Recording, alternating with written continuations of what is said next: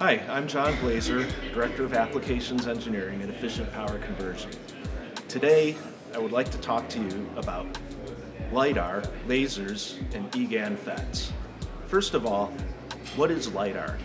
LiDAR is a way of measuring distance remotely using a laser to send out an optical pulse and then timing how long it takes to receive the reflection. And from this, you can measure the distance accurately. So a typical LiDAR system might measure millions of data points in one second, and it can use these data points to recreate a 3D image or map of the surroundings. This is obviously very useful for applications like autonomous vehicles, but it also turns out to be useful for things like factory automation, security and facial recognition, and a wide variety of other applications. Now let's talk about what a laser driver needs to do. So every LiDAR system has a laser as it, at its core. And in order to make this operate, we need to turn the laser on and off to generate the light pulse. So this seems very simple. Basically, you take a laser and you have a source of electrical energy and you use a semiconductor switch to turn this on and discharge the energy through the laser generating the pulse.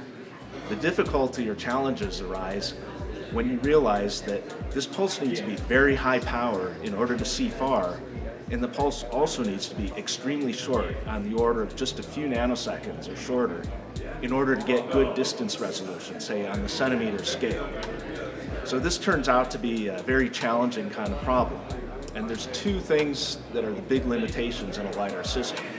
One of these is stray inductance in the circuit, and the other is the semiconductor switch itself. So we've taken a, a lot of, put in a lot of effort in order to generate circuits with very low inductance. And that has so far left the limiting factor to be the semiconductor switch. So one of the ways you uh, one of the ways you counteract the remaining inductance is by increasing the voltage. What this means is the semiconductor switch has to be a high voltage switch, have high current capability, and still be extremely fast. So this is, of course, this is a natural fit for eGaN FETs. eGaN FETs can do high voltage, high current in single digit nanosecond times, and they're the obvious choice for this kind of application.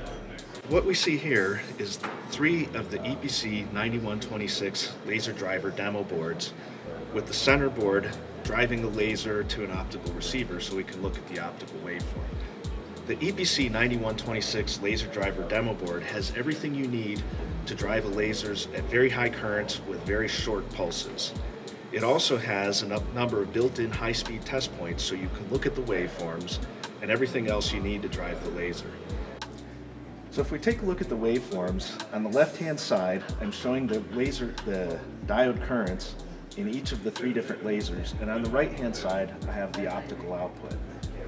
Now, we take a look at the scale on this side, it's one nanosecond per division and 20 amps per division.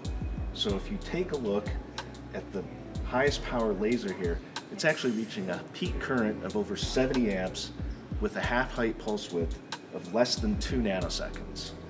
And if you take a look at the other lasers, you'll see the current is a little lower and they're a little bit wider. And this is due to the different inductance of the different laser packages.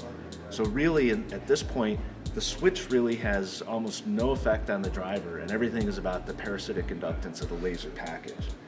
And if we take a look at the right, we can see the optical output of the uh, laser B in the middle. And as we can see, we had a very nice clean optical pulse, about two nanoseconds wide. The superior performance of eGaN FETs and ICs enables groundbreaking LiDAR performance. The ability to generate high current pulses of single digit nanosecond width to deliver hundreds or even thousands of watts out of a few square millimeters is truly amazing. GaN is a key factor in making possible affordable high performance LiDAR, thus fueling the LiDAR revolution. For more information or to purchase demo boards, visit www.epc-co.com.